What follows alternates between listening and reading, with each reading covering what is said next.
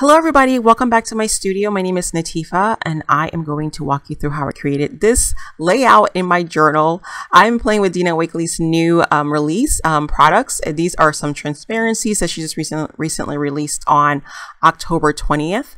Um, these have some printed faces on them and I think they're really cool for creating some focal pieces. You can cut them down and just create a bunch of other things. There's a variety of faces on this and I just think it's really, really great. Um, a great way to kind of incorporate some clear um, images into your piece if you want to be able to see your background.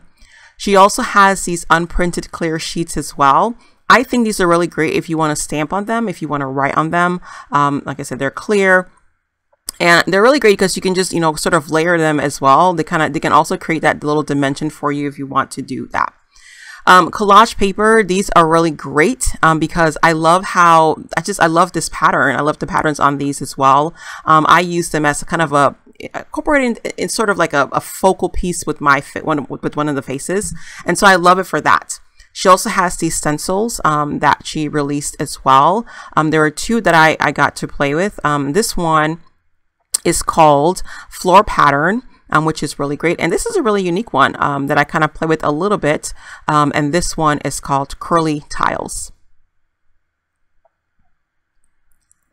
So Dina also released um, some new brushes and I have not really played with her brushes before. So I got a chance to play with them um, this time and these are really huge.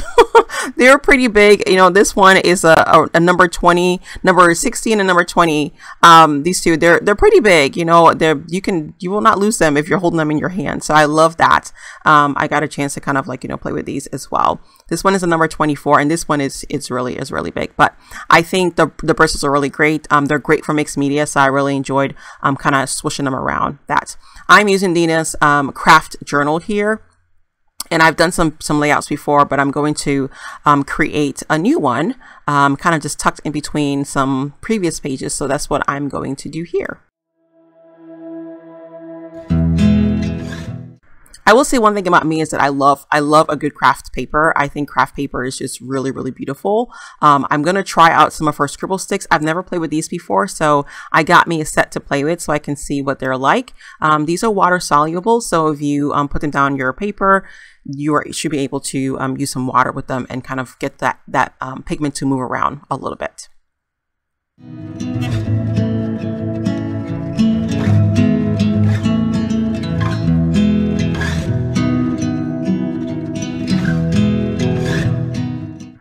So I'm going to start adding some color to this with my scribble sticks. Um, I'm using warmer colors for these. I'm um, just out the gate. I want to just add some color to my paper and I have no rhyme or reason to what I'm doing here. I'm also going to start adding some water to this to see how this color moves around on the craft paper.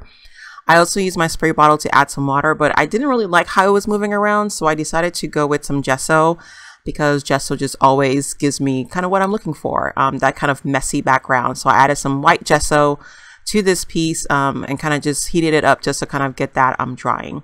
Then I went for my cooler colors. Um, I'm here now adding some clear gesso because I found that the scribble sticks works a little bit better on this craft paper for me um, when I add some clear gesso to it. It gives it something to kind of grab onto and so the the piece then um, or the colors then are not just sort of you know fading into the background they're really just grabbing onto that and they're able to kind of just play so I'm still playing with gesso and playing with the scribble sticks and kind of just seeing what I get here so I would encourage you to just play around and see what you get so now I've moved on to some stencils and I'm just using just some colors. These are gloss sprays to just add some color to the background. And as I'm drawing, I'm adding some additional color. I'm kind of testing out to see which one of these um, faces I want to use on my background. I love that I'm able to see through it, but I wanted to add some more um, background, you know, goodness to it. So I splattered some white paper, some white paint onto that. And then I pulled out some collage paper. I love these little birds here to see how they would kind of fit with the image. Um, and so I'm cutting it down to size and I'm going to just use some collage medium um, to glue it down to the paper.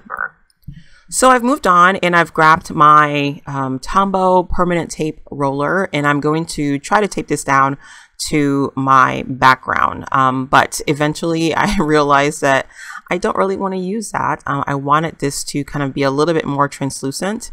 Um, and so eventually I'm going to grab some um, collage medium and try to use that instead. Um, I typically will use just um, some regular permanent tape because I just love it. It works for me. But for some things, especially for like, you know, transparencies or for for collage paper, I try to like in this case use use this to kind of make it more translucent because I don't necessarily want to see all the white. I wanted to, I want to be able to see the background a little bit more. And so I'm just painting over this with some collage medium. And that's what you guys see me doing here.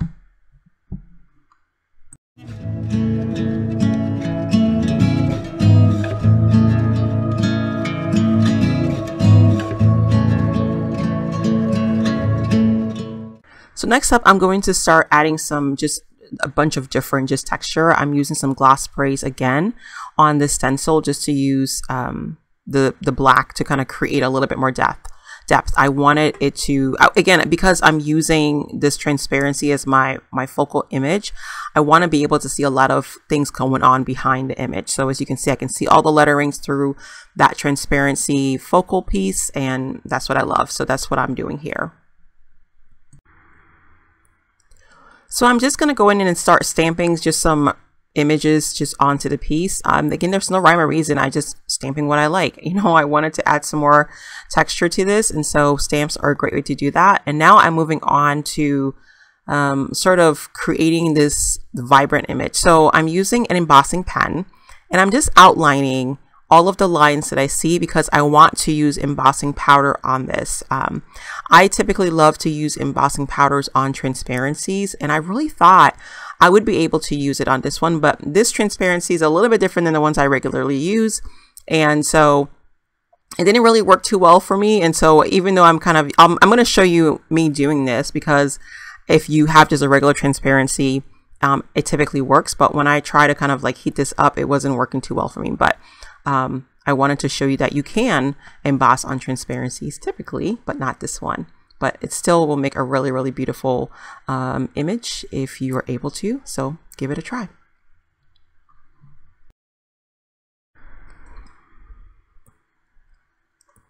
So you'll see as I'm kind of going through with all of these different colors on here that in the end, um, this really looks pretty when you put it on the back. Look at that it's just beautiful, right? But it doesn't work when you when you hit it. The paper or the transparency started to curl, and I don't know why I was doing it, but I don't know. It just it didn't work, so I had to go to something else. And so I moved on, and I grabbed another piece, and I'm like, okay, I got to figure this out and how I'm going to do this. So I'm going to cut this out, and I'm going to lay it onto my background to see how it works and kind of go from there. But that's the really beautiful thing I think about this is that you have a variety of images you can pick from that you can kind of use as your background. So we'll see what I do next to kind of, you know, really make this thing work. I really wanted to add some color to it because I just, I don't know, for some reason I love to add color to everything because it's beautiful. But I look at that. I love how that just fits right there, right? It's so great. So I love these little faces as focal pieces. So they're great.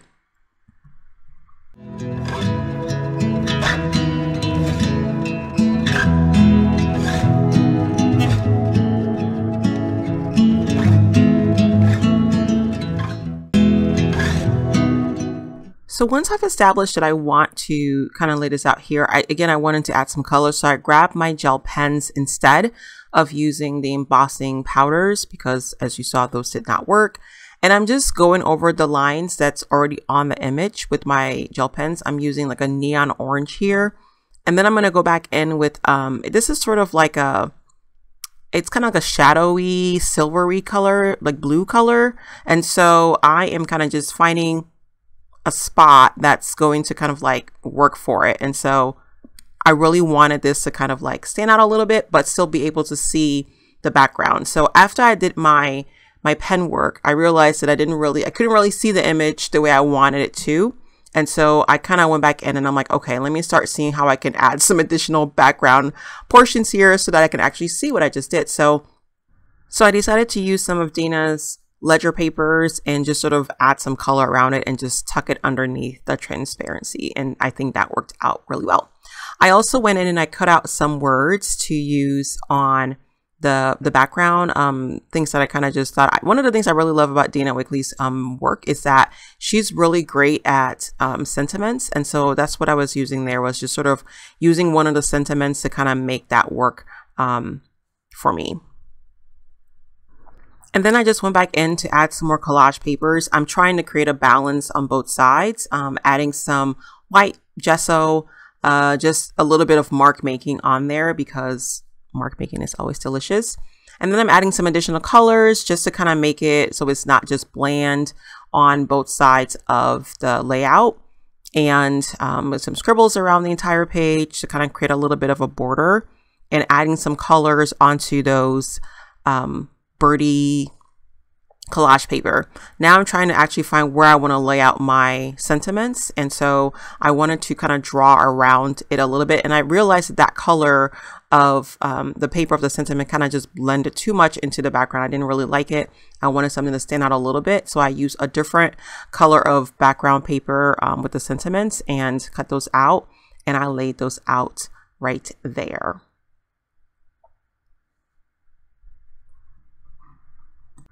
So I'm using some more of the scribble sticks um, uh, to draw some outlines. I also taped that down, that little red um, mark making place, taped it that down as well.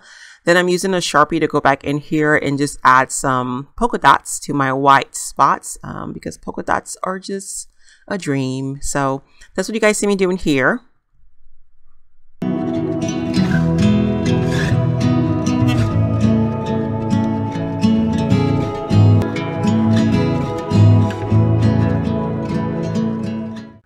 So for this section, I just wanted to just add some words. I don't even know what I wrote on there, um, but it's something positive onto the transparency because again, that's, that's the beauty of the transparency is that you can also write on it with your own handwriting, which is really beautiful.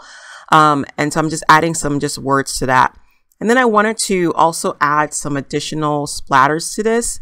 And so I went in with the gloss black, the black gloss spray, and I'm just splattering some, just some inks onto the page because I just think it just adds some yumminess to it. So that's what you guys see me doing here.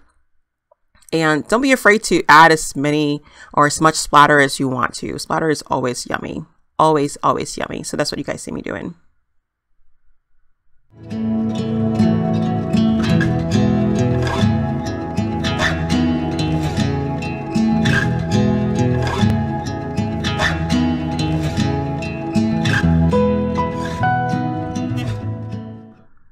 So I, I think I'm kind of at the end of this. I'm going to kind of show you guys what I ended up um, creating and thinking that I'm pretty much done with it um, overall. I really do enjoy making these. I think they're fun to do. And I just want to encourage you not to be afraid to go in there and just try something new and just try and see what you can create. Don't be afraid to, to add lots of color to not add lots of color. It just depends on what you want to do. But I think um, Dina's products really gives you an opportunity to kind of play where you don't have to create it yourself. And that's the beauty of these, um, these portraits that she's kind of put on transparency as well. So I'm just going to go back in here and kind of dry things out. My um, splatters are still a little bit wet.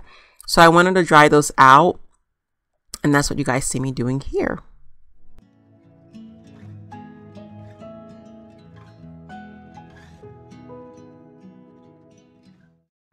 So after I dried this out, I wanted just to kind of create more balance. So I took a red um, scribble stick and went back in there and just sort of outlined around those birds on the other side. It's not, it wasn't really necessary, but I really wanted to not make it seem like these birds were kind of just out in left field, but it created a balance on the left side and the right side with the red colors. And so that's really all I did there. But otherwise, I hope you guys enjoy seeing this process. Thank you again so much for watching and I'll see you next time. Bye.